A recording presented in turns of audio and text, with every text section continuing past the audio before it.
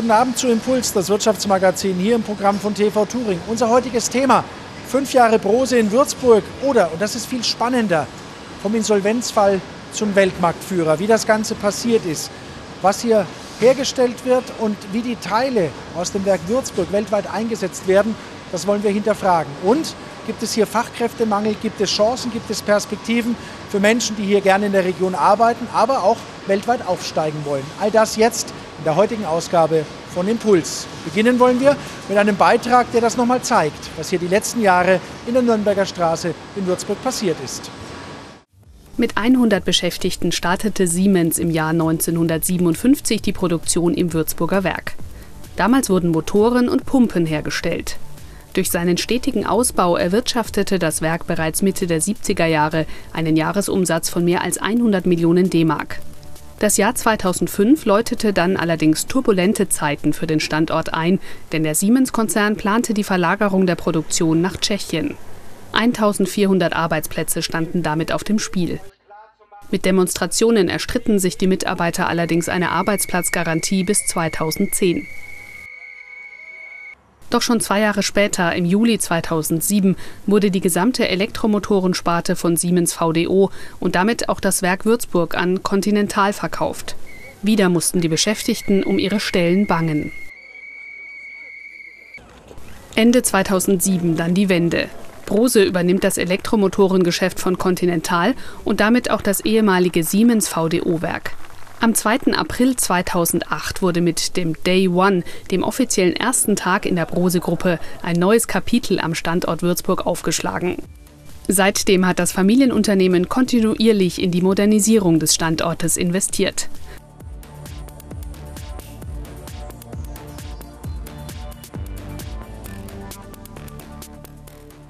Heute sind in Würzburg, dem weltweiten Headquarter für das Brose Elektromotorengeschäft, 1700 Mitarbeiter beschäftigt.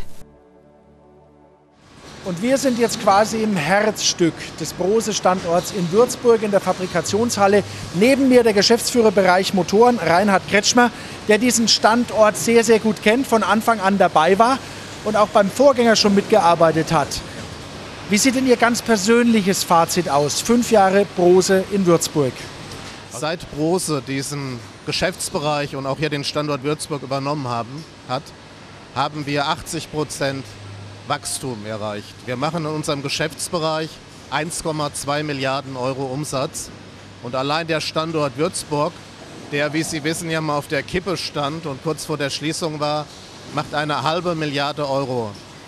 Wir haben zwölf neue Motorengenerationen entwickelt, 200 Patente angemeldet. Wir haben 200 feste neue Arbeitsplätze alleine hier geschaffen und wir sind in fast allen unseren Produktsegmenten äh, Weltmarktführer Nummer 1. Und worauf ich besonders stolz bin, wir machen mittlerweile 60 Prozent unseres Umsatzes mit Produkten, die es vor drei Jahren noch gar nicht gab. Was machen Sie denn anders, außer diese Innovationsfreudigkeit? Als ihre Vorgänger. Ich kann mich sehr gut erinnern, rote Fahnen, verzweifelte Menschen, die ihren Job verloren haben, die um den Job gebankt haben. Es war ein Spielball der Großen. Und dann kam dieses kleine Familienunternehmen Brose daher. Und die Schlagzeile eigentlich für mich ist vom Insolvenzfall zum Weltmarktführer. Was machen Sie anders? Also ich denke, zunächst einmal hat sich die Voraussetzung für diesen Geschäftsbereich und auch für das Werk hier mit Brose geändert. In der Siemens und in der Continental Konzernstruktur war das Motorengeschäft ein Randgebiet. Das waren Elektronikkonzerne und man hat sich dort nicht tief genug mit den Themen beschäftigt, auch nicht genügend investiert, meiner Meinung nach. Mit Brose ist dieses Gebiet, das Motorengeschäft, zu einem strategischen Kernpunkt geworden. Und ich denke, damit haben wir zunächst einmal ganz andere Voraussetzungen. Das Zweite, was eben sehr wichtig ist, Große konnte die Vorteile eines Familienunternehmens hier voll ausspielen. Ähm, mich hat sehr beeindruckt, es wird langfristig gedacht. Wir haben sehr viel Investitionen bekommen. Für das Motorengeschäft 300 Millionen und allein hier in Würzburg, Sie sehen die ganzen neuen Maschinen, haben wir 130 Millionen Euro investiert. Und was vielleicht auch noch ganz wichtig ist, mit Brose kam eine Firmenkultur, die hochprofessionell, die schnell, die unternehmerisch, die kundenorientiert ist. Und äh, ja, im Management, das eine sind Pläne und Strategien, aber die Königsdisziplin ist die Umsetzung und das kann diese Firma sehr, sehr gut. Und ich denke, das ist uns sehr gelungen. Am Schluss ist es immer die Firmenkultur, die den Erfolg ausmacht. Ja, jetzt haben wir schon sehr viel gehört, Zahlen, Daten, Fakten. Wir haben das auch mal so ein bisschen zusammengefasst, damit man dann auch mal wirklich sieht anhand dieser Daten, was sich hier getan hat die letzten Jahre. Brose wurde 1908 in Berlin von Max Brose gegründet. Heute ist das Unternehmen nach Umsatz der fünftgrößte Automobilzulieferer in Familienbesitz weltweit. Michael Stoschek, Enkel des Firmengründers Max Brose, übernahm 1971 im Alter von 23 Jahren die Leitung des Automobilzulieferers. Damals hatte Brose 1000 Mitarbeiter bei einem Jahresumsatz von 55 Millionen. Als er den Vorsitz der Geschäftsführung 2005 an Jürgen Otto übergab, beschäftigte der Automobilzulieferer rund 9000 Mitarbeiter, die einen Umsatz von 2,2 Milliarden Euro erwirtschafteten. Das Unternehmen ist heute an 58 Standorten in 23 Ländern vertreten. 22.000 Mitarbeiter entwickeln und produzieren Systeme für Fahrzeugtüren, Heckklappen und Sitzstrukturen sowie elektrische Antriebe. Für 2013 erwartet die Brose-Gruppe einen Jahresumsatz von 4,7 Milliarden Euro. In Franken unterhält der Zulieferer Entwicklungs- und Produktionsstandorte in Würzburg, Hallstatt bei Bamberg und Coburg und beschäftigt dort rund 6600 Mitarbeiter. Brose engagiert sich für das gesellschaftliche Umfeld seiner Standorte. So ist das Familienunternehmen nicht nur Namenssponsor der Brose Baskets Bamberg, sondern unterstützt auch die S. Oliver Baskets in Würzburg. Sie sehen die Sendung Impuls heute zum Thema 5 Jahre Brose am Standort Würzburg oder Untertitel, und das ist das Erfreuliche für die Region, vom Insolvenzfall zum Weltmarktführer. Jetzt sind wir hier inmitten Ihrer Fabrikation. Sie haben so viel von den Patenten erzählt und von sonstigen Dingen. Aber was wird hier genau gemacht? Also zunächst einmal produzieren wir hier Elektromotoren. Ähm, wir haben insgesamt 100 Millionen Motoren, die wir jährlich produzieren und hier im Werk äh, Würzburg sind es 25 Millionen. Nun muss man, wenn man dieses, diese Produktpalette anschaut, differenzieren zwischen, ich sage einmal, Motoren der älteren Generation und dann hoch innovativen Produkten, die im Wesentlichen elektronisch angesteuerte Motoren sind. Und hier, wir kommen aus Elektronikkonzernen, haben wir uns technologisch nach vorne geschoben und machen hier Produkte, die man braucht, um CO2 zu sparen, um Benzineinsparungen zu machen, aber auch um den Komfort und die Sicherheit zu erhöhen. Als Würzburger kann man dann auch einen gewissen Stolz haben, weil jeder dritte Elektromotor, der in einem Fahrzeug eingebaut wird, der kommt hier aus Würzburg, sei es für Fensterheber oder für Sitzverstellung oder, oder, oder. Ja, das ist genau richtig.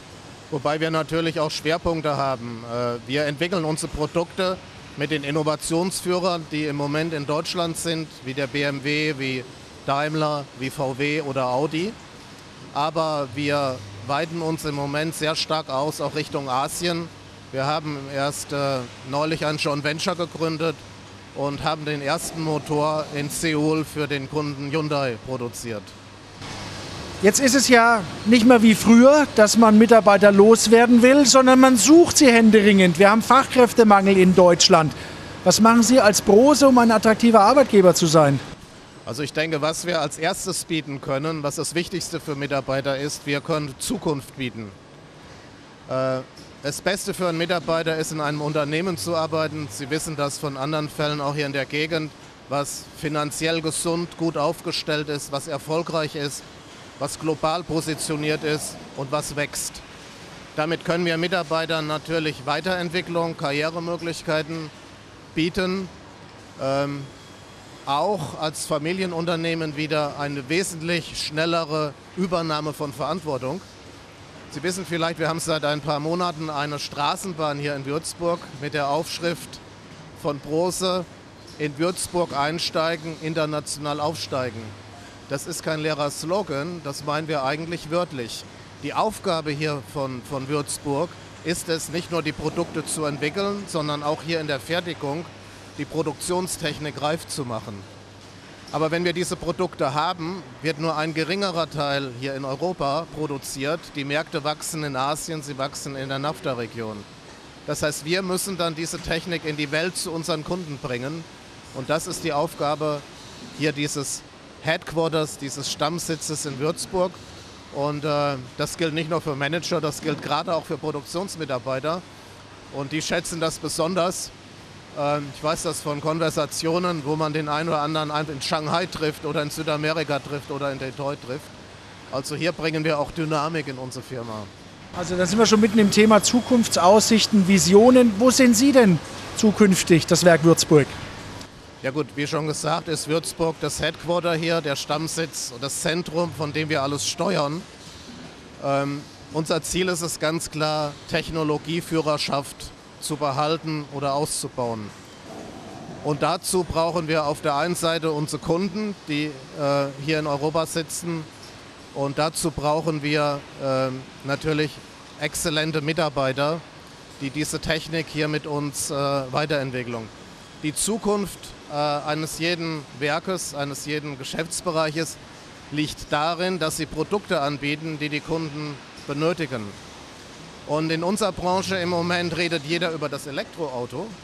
Aber was wirklich passiert ist, die Elektrifizierung des Autos. Start, Stopp, Hybrid und andere Dinge.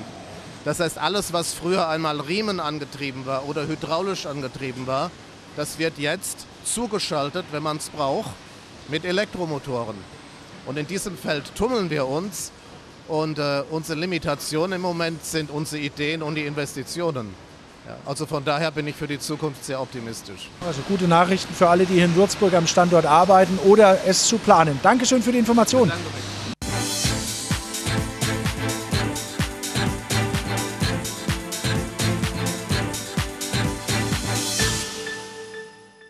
Willkommen zurück zur Sondersendung 5 Jahre Brose in Würzburg.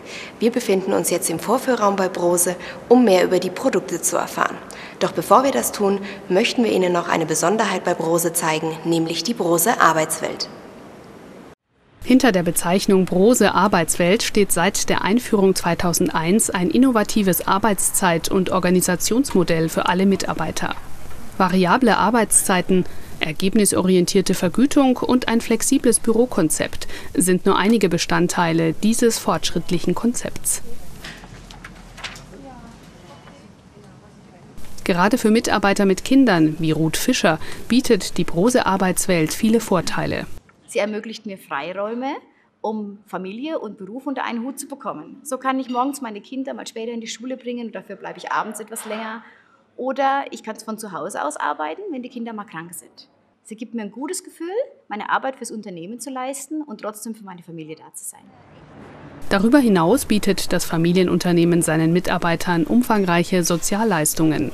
Diese reichen vom Gesundheitsmanagement und der betrieblichen Altersvorsorge über eine eigene Mitarbeiter- und Familienbetreuung bis hin zur Betriebsgastronomie und den Brose Sportevents. Die fortschrittlichen Personalkonzepte von Brose finden auch außerhalb des Unternehmens hohe Anerkennung. Bei externen Arbeitgeber-Rankings erzielt das Familienunternehmen regelmäßig gute Platzierungen. Bei mir ist Herr Leicht, Leiter für Klimatisierung und elektronische Bremssysteme bei Brose. Hallo, Herr Leicht. Ja, guten Tag. Brose produziert jährlich rund 100 Millionen Elektromotoren. Wo kommen die denn im Fahrzeug zum Einsatz? Ja, in einem Mittelklassefahrzeug finden Sie heute 40 bis 80 Kleinmotoren. Ein Auto der Luxusklasse hat dann schon eher über 100. Äh, Brose bietet dabei ein Leistungsspektrum von 80 Watt bis hin zu einem Kilowatt an. Das ist dann etwas mehr als ein PS.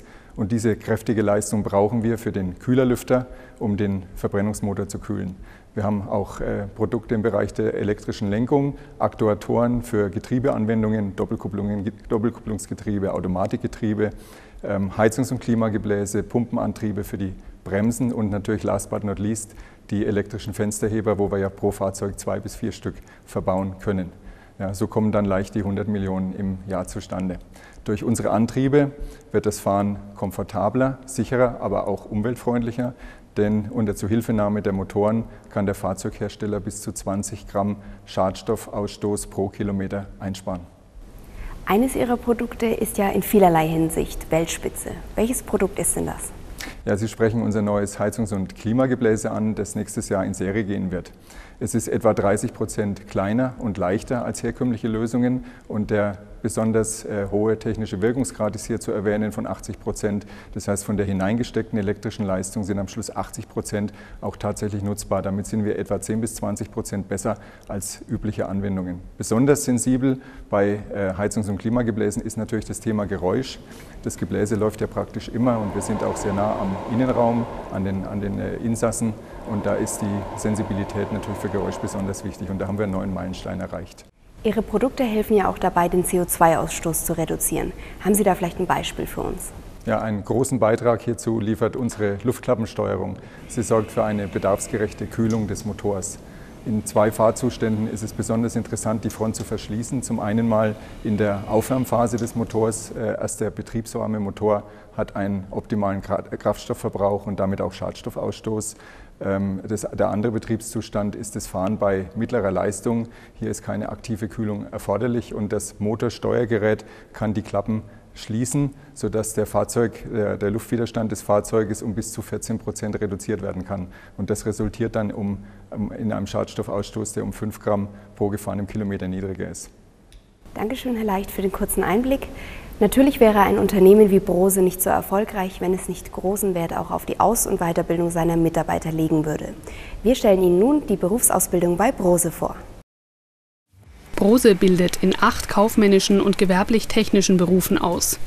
Zudem bietet der Automobilzulieferer duale Bachelorstudiengänge in vier wirtschaftswissenschaftlichen und technischen Fächern sowie ein Studium mit vertiefter Praxis in drei Bereichen an. Seit 2008 gibt es die Brose Junior Company, in der die Azubis unternehmensintern eigene Aufträge übernehmen. Für uns Auszubildende gibt es speziell im zweiten Layer die Börse Junior Company. Das bedeutet, wir übernehmen Aufträge oder Projekte von der Firma, bearbeiten dies und erweitern somit unsere Fähigkeiten und Grundkenntnisse. Brose schenkt uns da schon viel Vertrauen, auch dass wir eben Projekte anfertigen, die auch für die Produktion letztendlich gebraucht werden. Wir sind jetzt nicht nur an dem Standort gebunden, wir haben auch in der Ausbildung die Möglichkeit, ähm, im Ausland zu arbeiten, wie zum Beispiel Mexiko oder China, und arbeiten dort fest mit im Werk. Über 300 Auszubildende und Studenten dualer Hochschulstudiengänge zählt die Brose-Gruppe weltweit. 85 davon arbeiten am Standort Würzburg. Auch nach Abschluss der Ausbildung unterstützt das Unternehmen seine Mitarbeiter bei der Weiterbildung. Unter dem Dach der Brose Akademie werden eine Vielzahl interner und externer Programme und Schulungen angeboten. Ziel ist es, die Stärken zu identifizieren und gezielt zu fördern. Damit eröffnen sich jedem Brosianer vielfältige Chancen. So, wenn Sie also mal hier in der Zukunft vorbeifahren, in der Nürnberger Straße in Würzburg und Sie lesen Brose, dann wissen Sie jetzt auch, was hinter den Kulissen so alles passiert und dass man hier in Würzburg durchaus stolz auf das Geleistete sein kann. Das war Impuls, unser heutiges Thema 5 Jahre Brose in Würzburg vom Insolvenzfall zum Weltmarktführer. Ihnen noch einen schönen Abend.